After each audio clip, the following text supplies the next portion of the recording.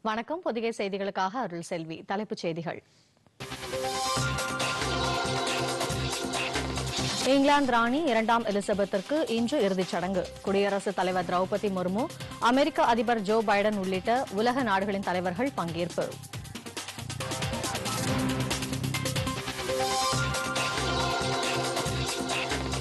America சென்றடைந்தார் வெளியுறவு அமைச்சர் ஜெய்சங்கர். ஐநா பொதுச் செயலாளர் மற்றும் பல்வேறு நாடுகளின் தலைவர்களை சந்தித்து பேசுகிறார்.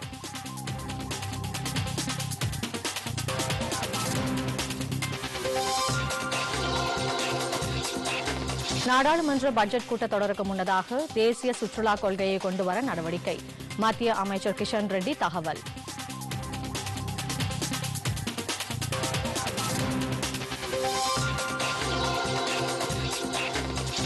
தாய்மொழியில் பயின்றால்தான் அறிவை வளர்க்க முடியும். காந்தி கிராமம் கிராமிய பல்கலைக்கழக நிகழ்ச்சியில் மத்திய அமைச்சர் தர்மேந்திர பிரதான் பேச்சு.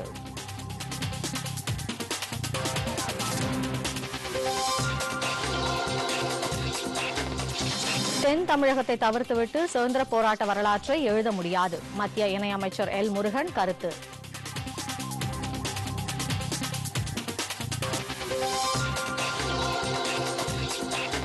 சென்னை ஓபன் டென்னிஸ் மகளிர் ஒற்றையர் பட்டத்தை வென்றார் செக் குடியரசு வீராங்கனை லிண்டா. கேடயத்தை வழங்கி கௌரவித்தார் முதலமைச்சர் மு ஸ்டாலின்.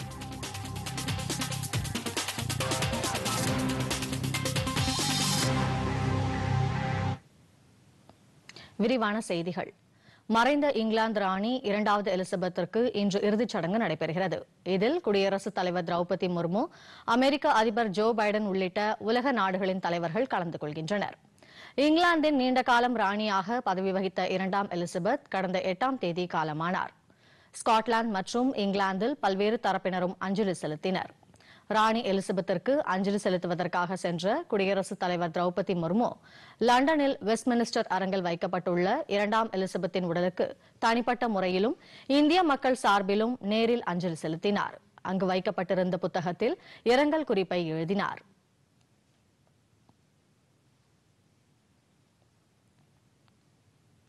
இந்நிலையில் இரண்டாம் எலிசபெத்தின் உடல் வெஸ்ட் மினிஸ்டர் அபே பகுதிக்கு இன்று எடுத்துச் செல்லப்பட்டு இறுதி சடங்கு நடைபெறுகிறது. இதில் குடியரசுத் தலைவர் திரௌபதி முர்மு அமெரிக்க அதிபர் ஜோ பைடன் கனடா பிரதமர் ஜஸ்டின் ட்ரூடோ நியூசிலாந்து பிரதமர் ஜெசிண்டா ஆர்டன் உள்ளிட்ட பல்வேறு நாடுகளின் தலைவர்கள் கலந்து கொள்கின்றனர். இறுதி ஊர்வலத்தை இங்கிலாந்து மக்கள் நேரடியாக பார்க்க வசதியாக திரையரங்குகள் பொது இடங்களில் காணொலி வசதிகள் செய்யப்பட்டுள்ளன. இதனிடையே இங்கிலாந்து மன்னர் மூன்றாம் சார்லஸை குடியரசுத் தலைவர் நேற்று பக்கிங்ஹாம் மாளிகையில் சந்தித்து பேசினார்.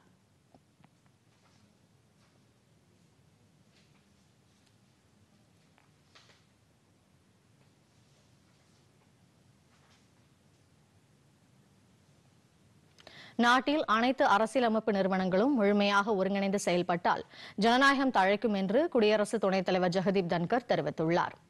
மத்திய பிரதேச மாநிலம் ஜபல்பூரில் ஜே எஸ் வர்மா நினைவு சொற்பொழிவில் கலந்து கொண்டு உரையாற்றிய அவர் வலிமையான நேர்மையான சுதந்திரமான நீதித்துறை அமைப்பே ஜனநாயக மாண்புகளை தழைத்தோங்க செய்யும் பாதுகாப்பான உத்தரவாதம் என்று குறிப்பிட்டார். நீதிபதிகளின் கௌரவம் நீதித்துறை மீதான மரியாதை ஆகியவையே அரசியலமைப்பு சட்டத்தின் அடிப்படை கோட்பாடுகளாகும் என்று கூறிய அவர் சட்டத்திற்கு மேலானவர்கள் யாரும் இல்லை என்பதை அனைவரும் உணர்ந்து கொள்ள வேண்டும் என்று கேட்டுக் கொண்டார் உயர் பதவிகளில் உள்ளவர்கள் பொதுநலனை கருத்தில் கொண்டும் ஜனநாயக மாண்புகளை கட்டிக்காக்கும் வகையிலும் செயல்பட வேண்டும் என்று குடியரசு துணைத் தலைவர் ஜெகதீப் தன்கர் வலியுறுத்தினார் Section 32 of the Evidence Act that it is in violation, gross violation of Article 21. What a dying man had said can decide the fate of a living man. It was based, the challenge was based, premised on a report of a law commission in a European country. I was young, perhaps he was impressed, and in open court he said, Would you like to be senior? And the bench was uh, Justice Verma, Justice Kasliwal, Justice Suresh Agarwal, all came to the Supreme Court. New York சென்றுள்ள மத்திய வெளியுறவுத்துறை அமைச்சர் ஜெய்சங்கர் ஐநா பொதுச் செயலாளர் மற்றும் பல்வேறு நாடுகளின் தலைவர்களையும் சந்தித்து பேசுகிறார். பதினோரு நாள் பயணமாக அமெரிக்காவுக்கு ஜெய்சங்கர் நேற்று சென்றடைந்தார். நியூயார்க் சென்ற அவர் ஐநா பொது சபையில் நடைபெறும் கூட்டத்தில் பங்கேற்று உரையாற்றுகிறார். ஐநா பொதுச் செயலாளர் ஆண்டனியோ குட்ரஸ் மற்றும் பல்வேறு நாடுகளின் தலைவர்களை சந்தித்து சர்வதேச மற்றும் பிராந்திய விவகாரங்கள் குறித்து ஆலோசனை நடத்துகிறார். குவாட் அமைப்பின் வெளியுறவு அமைச்சர்கள் கூட்டத்திலும் பங்கேற்கிறார். பின்னர் நியூயார்க்கிலிருந்து வாஷிங்டன் செல்லும் அவர் இந்திய அமெரிக்க ஒத்துழைப்பை வலுப்படுத்துவது குறித்து அந்நாட்டு வெளியுறவு அமைச்சர் மற்றும் பல்வேறு அதிகாரிகளுடன் ஆலோசனை நடத்துகிறார். இரண்டு நாள் பயணமாக எகிப்துக்கு பாதுகாப்புத்துறை அமைச்சர் ராஜ்நாத் சிங் பயணம் மேற்கொண்டுள்ளார். அந்நாட்டு பாதுகாப்புத்துறை அமைச்சர் முகமது ஜாகியை இன்று சந்தித்து இருதரப்பு ஒத்துழைப்பை வலுப்படுத்துவது குறித்து ஆலோசனை நடத்துகிறார். இரு நாடுகளுக்கும் இடையேயான பாதுகாப்பு ஒத்துழைப்பு குறித்து ஆய்வு செய்யும் அமைச்சர்கள் இதனை மேலும் வலுப்படுத்துவதற்கான வாய்ப்புகள் குறித்து விவாதிக்க உள்ளனர். பாதுகாப்பு ஒத்துழைப்பை மேலும் ஊக்குவிப்பதற்கான புரிந்துணர்வு ஒப்பந்தமும் கையெழுத்தாகும் என்று அதிகாரிகள் தெரிவித்துள்ளனர். இந்த பயணத்தின் போது அந்நாட்டு அதிபர் அல் சிசியையும் ராஜ்நாத் சிங் சந்தித்து பேசுகிறார்.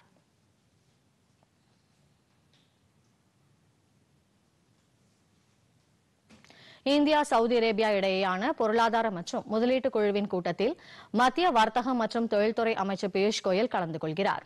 இரண்டு நாள் பயணமாக சவுதி அரேபியாவுக்கு அமைச்சர் பியூஷ் கோயல் நேற்று சென்றடைந்தார். அப்போது அந்நாட்டு வர்த்தகம் மற்றும் தகவல் துறை அமைச்சர் மஜித் அல் கசாபியை நேற்று சந்தித்து பேசினார். இதுகுறித்து டுவிட்டரில் பதிவிட்டுள்ள Piyush Goyal India Saudi Arabia இடையேயான பொருளாதார ஒத்துழைப்பை ஊக்குவிக்கும் வகையில் இருதரப்பு வர்த்தகத்தை மேலும் விரிவாக்கம் செய்வது குறித்தும் இந்தியாவுக்கு மிகப்பெரிய அளவில் முதலீடுகளை ஈர்ப்பதற்கான வழிகள் குறித்தும் ஆலோசனை நடத்தப்பட்டதாக தெரிவித்துள்ளார். இதனைத் தொடர்ந்து பொருளாதார மற்றும் முதலீட்டு குழுவின் முதல் கூட்டத்திற்கு சவுதி அரேபிய எரிசக்தித்துறை அமைச்சருடன் இணைந்து பியூஷ் கோயல் தலைமை வைக்க உள்ளார். அப்போது பொருளாதார மற்றும் முதலீட்டு குழுவின் பல்வேறு கூட்டு பணிக்குழுக்களின் செயல்பாடுகள் குறித்து ஆய்வு நடத்துவார்கள் என்று அதிகாரிகள் தெரிவித்துள்ளனர். இரண்டாயிரத்தி இருபத்தி மூன்றாம் ஆண்டிற்குள் நாடு முழுவதும் ஆயிரம் கேலோ இந்தியா விளையாட்டு மையங்கள் திறக்கப்படும் என்று மத்திய விளையாட்டுத்துறை அமைச்சர் அனுராக் சிங் தாக்கூர் கூறியிருக்கிறார். மும்பையில் வாக்காளர்கள் சமூக நல அமைப்பினர் கூட்டுறவு மற்றும் வர்த்தக சங்க பிரதிநிதிகள் மத்தியில் கலந்துரையாடிய அமைச்சர் அனுராக் சிங் தாக்கூர் விளையாட்டிற்கும் விளையாட்டு வீரர்களுக்கும் மத்திய அரசு சிறப்பான வசதிகளை செய்து கொடுத்தாலும் அவற்றை சரியான வீரர்களை தேர்ந்தெடுத்துக் கொண்டு சேர்ப்பது மாநில விளையாட்டு சங்கங்களின் கையில்தான் உள்ளது என்று கூறினார். தங்களின் பொறுப்புகளையும் பணிகளையும் நன்கு உணர்ந்து கொண்டு சிறந்த வீரர்களை ஊக்குவிப்பதில் மாநில விளையாட்டு சங்கங்கள் செயல்பட வேண்டும் என்றும் விளையாட்டு சம்பந்தமான திட்டங்களில் தொழில்நுட்பங்கள் கண்டிப்பாக பயன்படுத்தப்பட வேண்டும் என்றும் அமைச்சர் அனுராக் சிங் தாக்கூர் கேட்டுக் கொண்டார். இரண்டாயிரத்தி இருபத்தி மூன்றாம் ஆண்டிற்குள் நாடு முழுவதும் ஆயிரம் கேலோ இந்தியா விளையாட்டு மையங்கள் அமைக்கப்படும் என்றும் அவற்றில் ஐநூற்று தொன்னூறு மையங்களுக்கு ஏற்கனவே அனுமதி வழங்கப்பட்டு விட்டதாகவும் அவர் கூறினார். பெண்கள் மாணவர்கள் இளைஞர்கள் மற்றும் விவசாயிகளின் வாழ்க்கையை எளிதாக்க பிரதமர் நரேந்திர மோடி பல்வேறு நலத்திட்டங்களை செயல்படுத்தி வருவதாகவும் அமைச்சர் அனுராக் சிங் தாக்கூர் அப்போது குறிப்பிட்டார். நாடாளுமன்ற பட்ஜெட் கூட்டத்தொடருக்கு முன்னதாக தேசிய சுற்றுலா கொள்கை கொண்டுவரப்படும் என்று மத்திய சுற்றுலா மற்றும் கலாச்சாரத்துறை அமைச்சர் கிஷன் ரெட்டி கூறியுள்ளார். ஹிமாச்சல பிரதேசத்தின் தர்மசலா நகரில் மாநில சுற்றுலாத்துறை அமைச்சர்களின் மூன்று நாள் கருத்தரங்கு நேற்று தொடங்கியது. இதில் கலந்து கொண்டு உரையாற்றிய மத்திய அமைச்சர் கிஷன் ரெட்டி பல்வேறு தரப்பினருடனும் விரிவான ஆலோசனை நடத்தி புதிய தேசிய சுற்றுலா கொள்கையை கொண்டுவர உள்ளதாக தெரிவித்தார். ஜி இருபது அமைப்புக்கு இந்தியா தலைமை வகிக்கும் நிலையில் மாநில சுற்றுலாத்துறை அமைச்சர்களின் கருத்தரங்கு முக்கியத்துவம் பெறுவதாக அவர் குறிப்பிட்டார். இந்தியாவின் சுற்றுலா திறனை உலகிற்கு எடுத்துரைக்க ஜி இருபது அமைப்பை ஒரு தளமாக பயன்படுத்த உள்ளதாகவும் அவர் கூறினார். கடந்த இரண்டாயிரத்தி பதினான்காம் ஆண்டில் நாடு முழுவதும் எழுபத்தி நான்கு விமான நிலையங்களே இருந்த நிலையில் தற்போது நூற்று நாற்பதாக உயர்ந்துள்ளதாகவும் இதனை இரண்டாயிரத்தி இருபத்தி ஐந்தாம் ஆண்டில் இருநூற்று இருபதாக உயர்த்த இலக்கு நிர்ணயிக்கப்பட்டுள்ளதாகவும் அமைச்சர் கிஷன் ரெட்டி தெரிவித்துள்ளார்.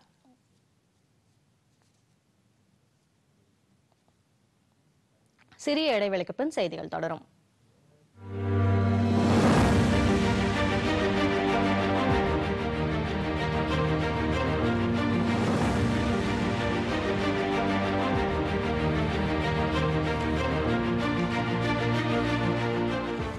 முதல் உறுதிமொழி வளர்ச்சி அடைந்த பாரதத்தை உருவாக்க பெரிய உறுதிப்பாடு. இரண்டாவது உறுதிமொழி அடிமைத்தன்மை உணர்வினை முழுமையாக துறப்பது.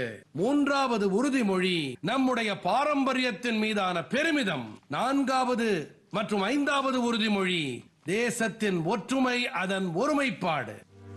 ஒன்றுபட்ட பாரதம் உருவாக நாம் அனைவரும் ஒன்றுபடுவோம்.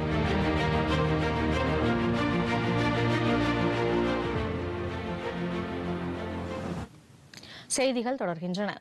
முதலமைச்சர் மு க ஸ்டாலினை சிங்கப்பூர் நாட்டு போக்குவரத்து மற்றும் வர்த்தக தொடர்புத்துறை பொறுப்பு அமைச்சர் எஸ் ஈஸ்வரன் நேற்று சந்தித்து பேசினார். அப்போது தமிழக தொழில்துறை அமைச்சர் தங்கம் தென்னரசு நிதியமைச்சர் P T R Palanivel Thiagarajan தலைமைச் செயலாளர் இறையன்பு உள்ளிட்டோர் உடனிருந்தனர். சென்னையில் உள்ள சிங்கப்பூர் தூதரகத்தின் துணை தூதர் எட்கர் பாங் எமர்ஜிங் மார்க்கெட்ஸிங் பிராந்திய முதுநிலை இயக்குநர் பிரான்சிஸ் சாங் ஆகியோரும் இந்த சந்திப்பின் போது உடனிருந்தனர்.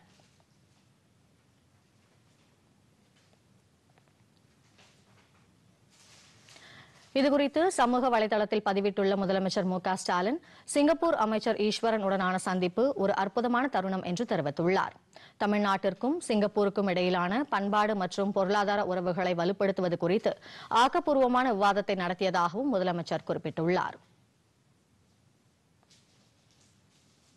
தமிழகத்தில் நேற்று நடைபெற்ற முப்பத்தி ஏழாவது சிறப்பு மெகா தடுப்பூசி முகாமில் எட்டு லட்சத்து பதினேழாயிரம் பேருக்கு தடுப்பூசிகள் செலுத்தப்பட்டதாக மாநில மருத்துவம் மற்றும் மக்கள் நல்வாழ்வுத்துறை அமைச்சர் மா. சுப்பிரமணியன் தெரிவித்துள்ளார்.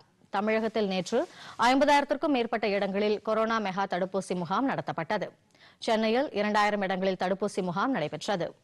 சென்னை தியாகராய நகரில் தடுப்பூசி முகாமை பார்வையிட்ட அமைச்சர் மா. சுப்பிரமணியன் அடுத்த மாதம் முதல் ஞாயிற்றுக்கிழமைக்கு பதிலாக புதன்கிழமைகளில் தடுப்பூசி முகாம்கள் நடைபெறும் என்றும் இதில் அரசு மருத்துவமனைகள் உட்பட பதினோராயிரத்து முன்னூற்று முப்பத்தி மூன்று மையங்களில் குழந்தைகள் மற்றும் கர்ப்பிணி தாய்மார்களுக்கு வழங்கப்படும் தடுப்பூசிகளுடன் கொரோனா தடுப்பூசிகளும் பொதுமக்களுக்கு இலவசமாக போடப்படும் என்று கூறினார்.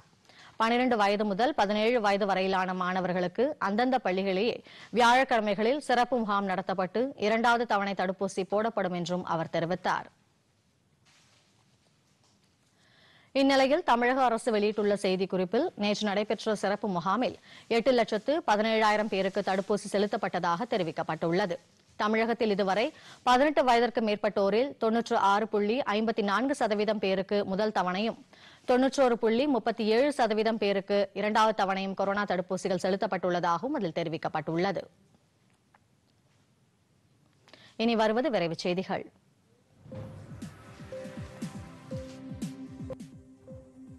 சட்டப்பேரவை தேர்தலுக்கான ஏற்பாடுகள் குறித்து ஆய்வு செய்வதற்காக தேர்தல் ஆணையக்குழு குஜராத் மாநிலத்திற்கு பயணம் மேற்கொண்டது.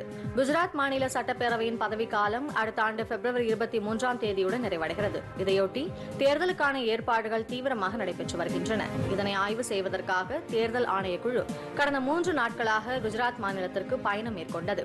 மாவட்ட தேர்தல் அதிகாரிகள் காவல் கண்காணிப்பாளர்கள் காவல் ஆணையர்கள் உள்ளிட்டோருடனும் அரசு துறை செயலாளர்களுடனும் பல்வேறு அம்சங்கள் குறித்து ஆலோசனை நடத்தப்பட்டதாக தேர்தல் ஆணையம் வெளியிட்டுள்ள செய்திக்குறிப்பில் தெரிவிக்கப்பட்டுள்ளது. ஜப்பான் இந்தியா இடையிலான ஆறாவது கடல்சார் பயிற்சி வழக்கமான மரபுப்படி நிறைவு பெற்றது. ரியர் அட்மிரல் சஞ்சய் பல்லா தலைமையில் இந்திய கடற்படை கப்பல்களும் ஜப்பான் கடல்சார் தற்காப்பு படையின் commanding rear admiral Harada Toshiyuki தலைமையில் ஜப்பான் நாட்டு கப்பல்களும் இந்த ஒரு வார கால பயிற்சியில் பங்கேற்றன. இதில் ஹெலிகாப்டர்கள் போர் விமானங்கள் மற்றும் நீர்மூழ்கி கப்பல்களும் பங்கேற்றன. இரண்டாயிரத்தி பனிரெண்டில் தொடங்கப்பட்ட ஜெமெக்ஸின் பத்தாவது ஆண்டு நிறைவை குறிக்கும் இந்த பயிற்சி இரு கடற்படைகளுக்கும் இடையே பரஸ்பர புரிதல் மற்றும் இயங்குதன்மையை ஒருங்கிணைத்தது. அரசின் நலத்திட்டங்களை மக்கள் அறிந்து கொள்ள செய்வதற்காக முதற்கட்டமாக பத்து மாநகராட்சி பேருந்து நிலையங்களில் மின்சுவர் அமைத்து உடனுக்குடன் விளம்பரப்படுத்தப்படும் என்று மாநில செய்தித்துறை அமைச்சர் மு பே சாமிநாதன் தெரிவித்துள்ளார்.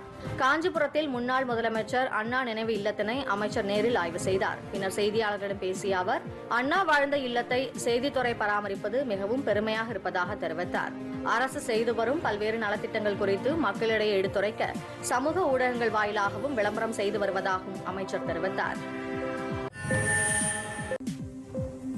மயிலாடுதுறை மாவட்டம் சீர்காழி மற்றும் சுற்று வட்டார பகுதிகளில் உள்ள இருபத்தி ஐந்து அரசு நேரடி நெல் கொள்முதல் நிலையங்களில் விவசாயிகளிடமிருந்து கொள்முதல் செய்யப்பட்ட சனரக நெல் மூட்டைகளை மழைக்காலம் தொடங்குவதற்கு முன்பாக அறவைக்காக ரயில் மூலம் அனுப்பும் பணி தீவிரமாக நடைபெற்று வருகிறது. அதன்படி இரண்டாயிரம் மெட்ரிக் டன் கொண்ட ஐம்பதாயிரம் நெல் மூட்டைகள் நூற்று பத்து லாரிகள் மூலம் சீர்காழி ரயில் நிலையம் எடுத்து வரப்பட்டது. இவை அனைத்தும் ஐம்பத்தி எட்டு ரயில் பெட்டிகள் மூலம் ஈரோடு மண்டலத்திற்கு அனுப்பப்பட்டது.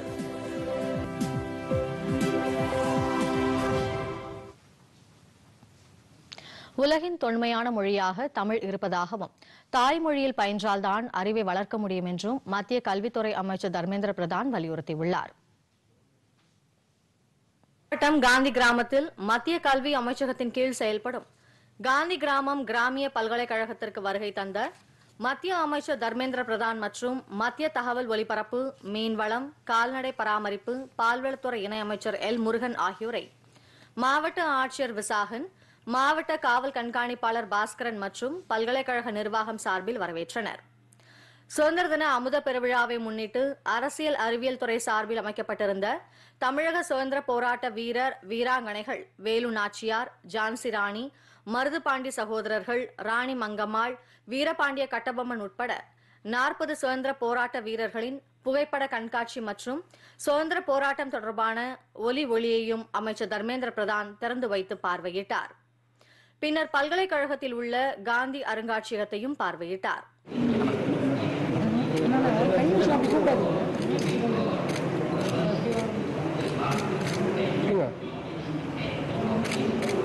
சார் கொஞ்சம் சேர்ந்து வாங்க சார்.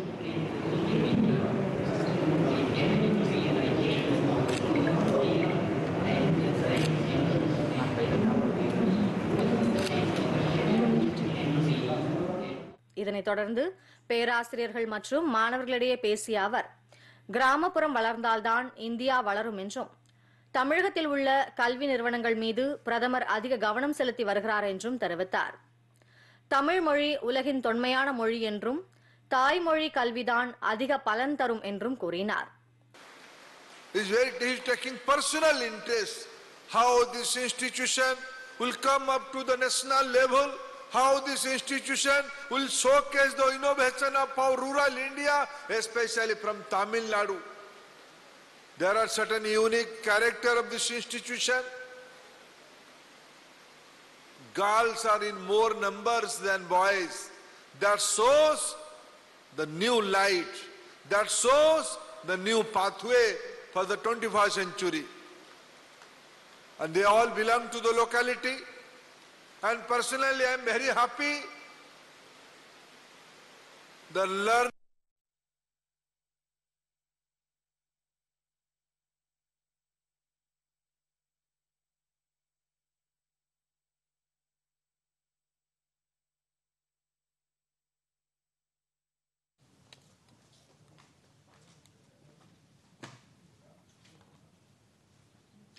நாட்டில் கொரோனா தொற்றிலிருந்து குணமடைந்தோர் வீதம் தொன்னூற்றி எட்டு புள்ளி ஏழு ஒன்று சதவீதமாக உள்ளதாக மத்திய சுகாதார அமைச்சகம் தெரிவித்துள்ளது. நாட்டில் நேற்று ஐந்தாயிரத்து அறுநூற்று அறுபத்தி நான்கு பேருக்கு கொரோனா தொற்று உறுதி செய்யப்பட்டுள்ளது. நான்காயிரத்து ஐநூற்று ஐம்பத்தி ஐந்து பேர் கொரோனா தொற்றிலிருந்து குணமடைந்துள்ளனர். கொரோனாவுக்கு தற்போது நாற்பத்தி ஏழாயிரத்து தொள்ளாயிரத்து இருபத்தி இரண்டு பேர் சிகிச்சை பெற்று வருவதாக மத்திய சுகாதார அமைச்சகம் தெரிவித்துள்ளது. தமிழகத்தில் நேற்று புதிதாக நானூற்று தொன்னூற்று இரண்டு பேருக்கு கொரோனா தொற்று உறுதி செய்யப்பட்டுள்ளது. நானூற்று முப்பத்தொரு பேர் குணமடைந்துள்ளனர். தற்போது நான்காயிரத்து தொள்ளாயிரத்து இருபத்தி ஆறு பேர் சிகிச்சை பெற்று வருகின்றனர். சென்னையில் நூற்று ஒன்பது பேரும் கோவையில் ஐம்பது பேரும் தொற்றால் பாதிக்கப்பட்டுள்ளதாக மாநில மருத்துவ மற்றும் மக்கள் நல்வாழ்வுத்துறை தெரிவித்துள்ளது. உலக அளவில் கொரோனா தொற்றால் இதுவரை அறுபத்தோரு கோடியே எழுபத்தோரு லட்சத்து அறுபதாயிரத்து எண்ணூற்று எண்பத்தி எட்டு பேர் பாதிக்கப்பட்டுள்ளனர். தொற்று காரணமாக இதுவரை அறுபத்தி ஐந்து லட்சத்து முப்பதாயிரத்து அறுநூற்று எழுபத்தோரு பேர் உயிரிழந்தனர். நோய் தொற்றிலிருந்து ஐம்பத்து ஒன்பது கோடியே எழுபது லட்சத்து இருபத்தி நான்காயிரத்து நானூற்று பதினோரு பேர் குணமடைந்துள்ளனர்.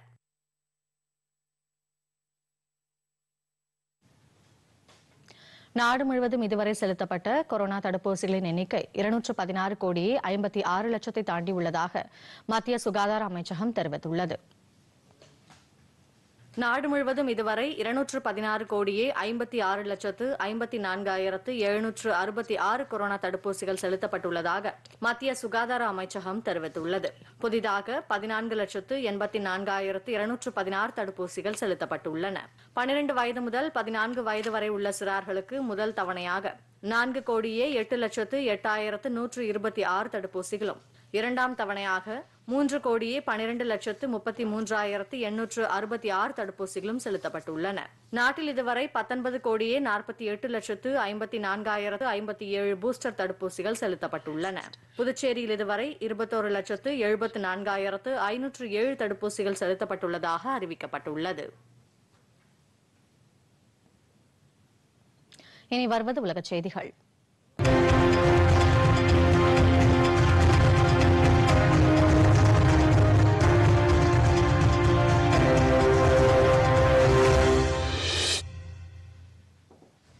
பாகிஸ்தானில் வெள்ளத்தால் பாதிக்கப்பட்ட பகுதிகளில் மீட்பு மற்றும் நிவாரணப் பணிகளுக்கு சர்வதேச சமூகத்துடன் இணைந்து செயல்பட உள்ளதாக சர்வதேச செலாவணி நிதியம் உறுதியளித்துள்ளது. பாகிஸ்தானில் கடந்த சில மாதங்களாக பெய்து வரும் கனமழையால் ஆயிரத்திற்கும் மேற்பட்டோர் உயிரிழந்தனர். எண்பது மாவட்டங்கள் கடுமையாக பாதிக்கப்பட்டுள்ளன. ஆயிரக்கணக்கானோர் தற்காலிக முகாம்களில் தங்க வைக்கப்பட்டுள்ளனர். இந்நிலையில் அறிக்கை வெளியிட்டுள்ள பாகிஸ்தானில் உள்ள சர்வதேச செலாவணி நிதியத்தின் உறைவிட பிரதிநிதி எஸ்தர் ஃபெரோஸ் தற்போதைய சூழலில் ஏற்கனவே உள்ள திட்டங்களின்படி பாகிஸ்தானுக்கு உதவ உள்ளதாக தெரிவித்துள்ளார். சர்வதேச சமூகத்துடன் இணைந்து மீட்பு மற்றும் மறுகட்டமைப்பு பணிகளுக்கு உதவ உள்ளதாகவும் பொருளாதார நிலைத்தன்மையை ஏற்படுத்த ஆதரவளிக்கப்படும் என்றும் அவர் கூறியுள்ளார்.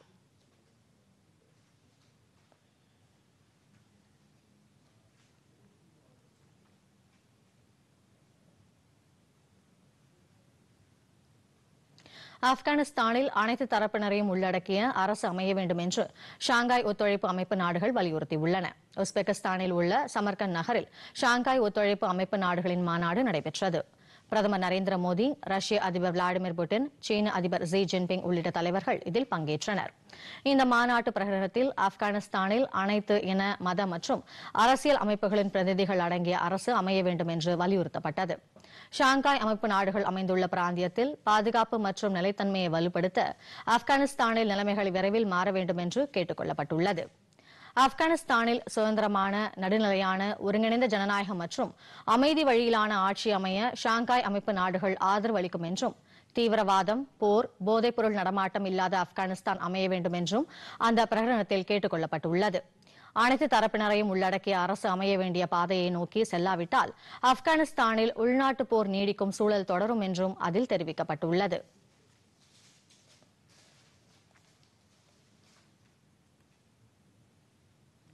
பருவநிலை மாற்ற பிரச்சனையை எதிர்கொள்ளும் விதத்தில் ஏர் கனடா நிறுவனம் முப்பது மின்சார ஹைபிரிட் விமானங்களை வாங்க முடிவு செய்துள்ளது. ஸ்வீடன் நாட்டின் ஹார்ட் ஏரோஸ்பேஸ் நிறுவனத்திடமிருந்து இந்த முப்பது ஹைபிரிட் விமானங்களை ஏர் கனடா வாங்க உள்ளது. பூஜ்ஜியம் சதவீதம் கார்பன் உமிழ்வை உறுதி செய்யும் வகையில் மின்சார சக்தியை கொண்டு இந்த விமானங்கள் பறக்கும். இரண்டாயிரத்தி இருபத்தி எட்டாம் ஆண்டிற்குள் இந்த மின்சார விமானங்கள் பயன்பாட்டிற்கு வரும் என்று எதிர்பார்க்கப்படுகிறது. இரண்டாயிரத்து ஐம்பதாம் ஆண்டிற்குள் பூஜ்ஜியம் சதவீதம் கார்பன் உமிழ்வை அடையும் இலக்கின் ஒரு பகுதியாக ஏர் கனடா நிறுவனம் இந்த ஹைபிரிட் விமானங்களை வாங்க முடிவு செய்துள்ளதாக கூறப்படுகிறது. இந்த ஹைபிரிட் விமானங்கள் லித்தியம் அயன் பேட்டரிகளால் இயங்கும் என்றும் முப்பது முதல் ஐம்பது நிமிடங்களில் அவற்றை சார்ஜிங் செய்துவிடலாம் என்றும் தெரிவிக்கப்பட்டுள்ளது.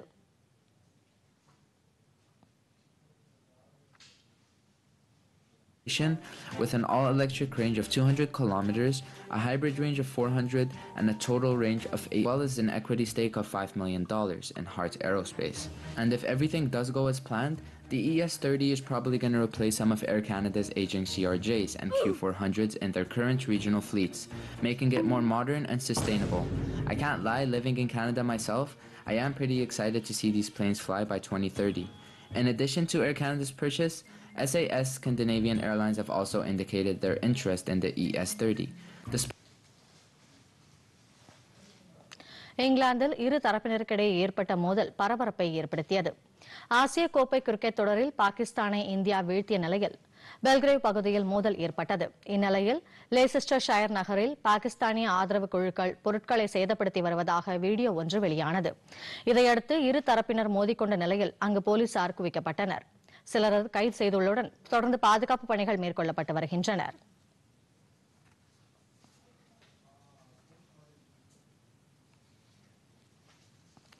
இனி வருவது விளையாட்டுச் செய்திகள்.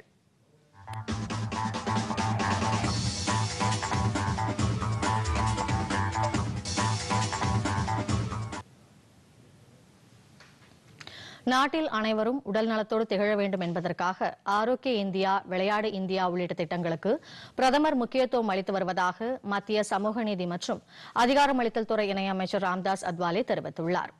பிரதமர் நரேந்திர மோடியின் எழுபத்தி இரண்டாவது பிறந்த நாளை முன்னிட்டு பிஜேபி சார்பில் நாமக்கல்லில் மோடி கபடி லீக் போட்டிகள் இரண்டு நாட்கள் நடத்தப்பட்டன. இந்த போட்டிகளை மத்திய இணையமைச்சர் ராம்தாஸ் அத்வாலே நேரில் பார்வையிட்டார்.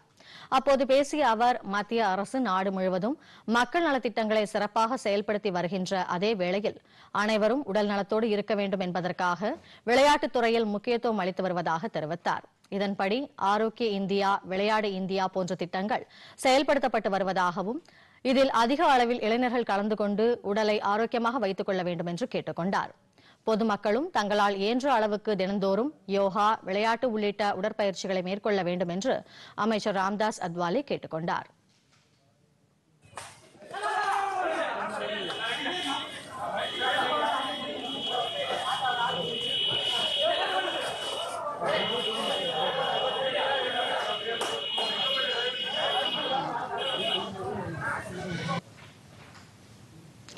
சென்னை ஓபன் சர்வதேச மகளிர் டென்னிஸ் தொடரில் ஒற்றையர் பட்டத்தை செக் குடியரசு வீராங்கனை லிண்டா ஃப்ரோவட்டோவா கைப்பற்றியுள்ளார். அவருக்கு கேடயத்தை முதலமைச்சர் மு ஸ்டாலின் வழங்கி பாராட்டு தெரிவித்தார். மகளிருக்கான சென்னை ஓபன் சர்வதேச டென்னிஸ் தொடர் சென்னை நுங்கம்பாக்கத்தில் நடைபெற்றது. இதில் நேற்று நடைபெற்ற மகளிர் ஒற்றையர் இறுதிப் போட்டியில் செக் குடியரசு நாட்டை சேர்ந்த பதினேழு வயதே ஆன லிண்டா ஃப்ருவட்டோ போலாந்தின் மேக்டா லெனட் ஆகியோர் மோதினர். விறுவிறுப்பாக நடைபெற்ற இந்த போட்டியில் லிண்டா ஆறுக்கு நான்கு மூன்றுக்கு ஆறு ஆறுக்கு நான்கு என்ற செட் கணக்கில் வெற்றி பெற்று தனது அறிமுக டபிள்யூடிஏ தொடரில் பட்டத்தை வென்றார். இந்த போட்டியை இரண்டு மணி நேரத்திற்கும் மேலாக நேரில் கண்டுகளித்த முதலமைச்சர் மு ஸ்டாலின் முதல் பரிசை வென்ற லிண்டாவுக்கும் இரண்டாம் இடம் பிடித்த லினட்டுக்கும் கோப்பையை வழங்கி கௌரவித்தார்.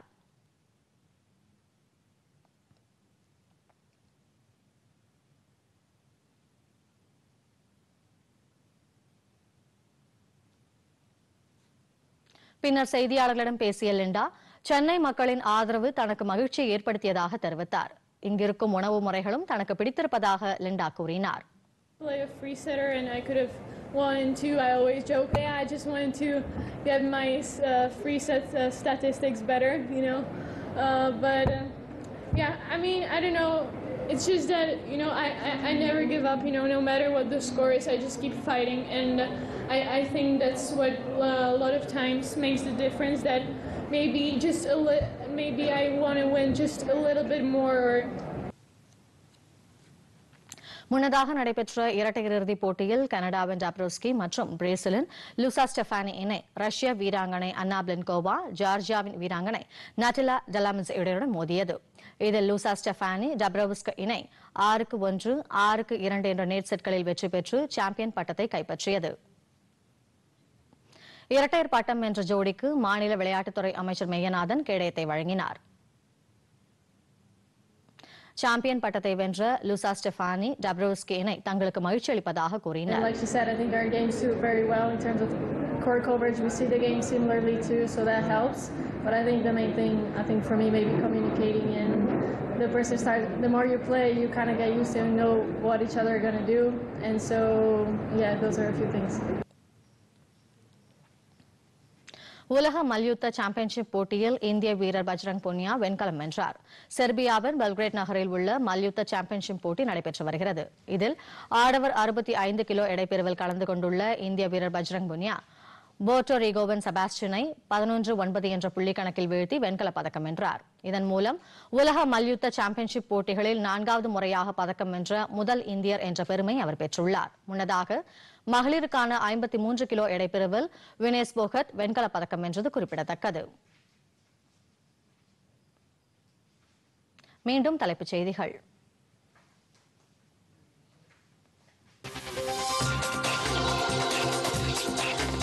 இங்கிலாந்து ராணி இரண்டாம் எலிசபெத்திற்கு இன்று இறுதிச் சடங்கு. குடியரசுத் தலைவர் திரௌபதி முர்மு அமெரிக்க அதிபர் ஜோ பைடன் உள்ளிட்ட உலக நாடுகளின் தலைவர்கள் பங்கேற்பு.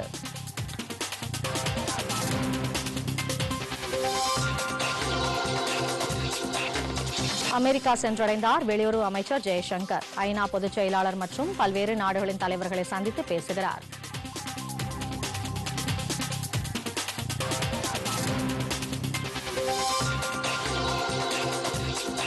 நாடாளுமன்ற பட்ஜெட் கூட்டத்தொடருக்கு முன்னதாக தேசிய சுற்றுலா கொள்கையை கொண்டுவர நடவடிக்கை. மத்திய அமைச்சர் கிஷன் ரெட்டி தகவல்.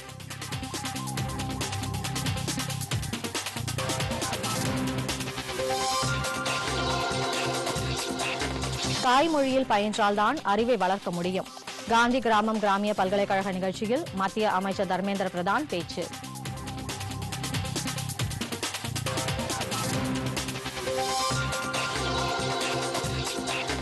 தென் தமிழகத்தை தவிர்த்துவிட்டு சுதந்திர போராட்ட வரலாற்றை எழுத முடியாது. மத்திய இணையமைச்சர் எல் முருகன் கருத்து.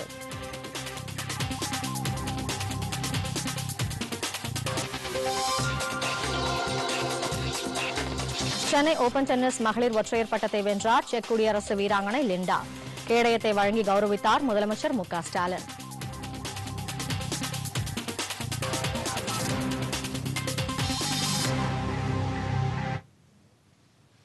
இத்துடன் செய்திகள் நிறைவடைந்தன. மீண்டும் செய்திகள் காலை பதினோரு மணிக்கு. வணக்கம்.